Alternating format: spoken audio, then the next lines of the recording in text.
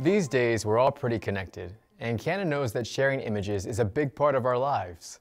When you pick up a camera that's a much higher quality than your smartphone, those outstanding images can be easily shared using Wi-Fi and Bluetooth that's built into new Canon cameras. In this video, and the next lesson, we'll cover what you can do and how to make your phone or tablet talk to your camera. That way, your high-quality pictures will be super easy to print and share, just like pictures you take with your phone.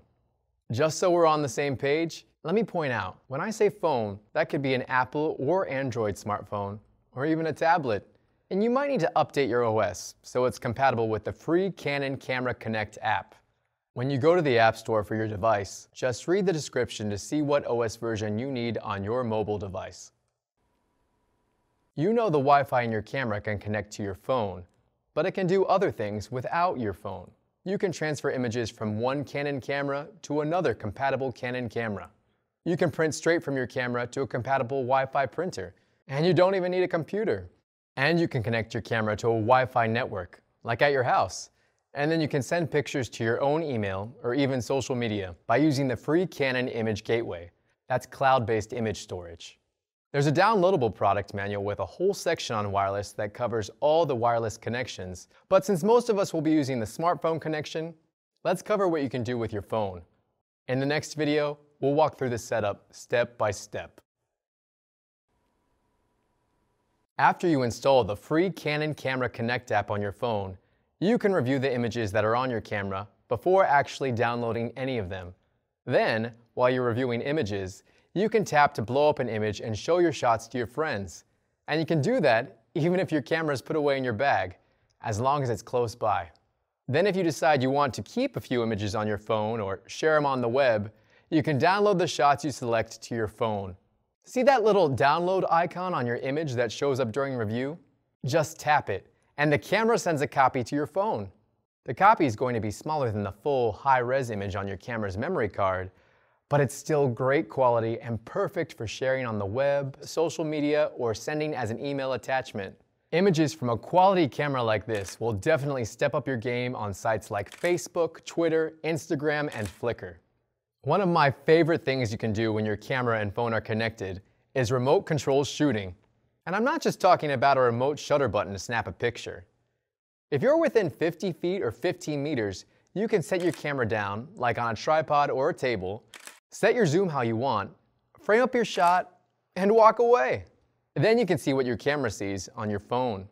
You can tap on the preview to focus in a different spot in your frame and take your shot. And if you're a little more of an advanced user and you want to control exposure settings, you can control the aperture, shutter speed, ISO, and exposure compensation. Plus, you can even change focus methods. So you can take your selfie shots to a whole new level. One more thing that your phone and camera can do together is to geotag your shots. You just turn on logging information in the Canon Camera Connect app on your phone, and the GPS info gets added to your shots. And you can add your phone's date and time if you want. The wireless connectivity is fun and easy, especially after you set it up the first time. But there are some basics you should know so this all makes sense. The first thing is that you do not need to be around a Wi-Fi network to connect your phone with your camera. You can do it in the middle of nowhere. Like I mentioned earlier, you'll use the Canon Camera Connect app on your phone or tablet, and that needs to be the latest version of the Canon app.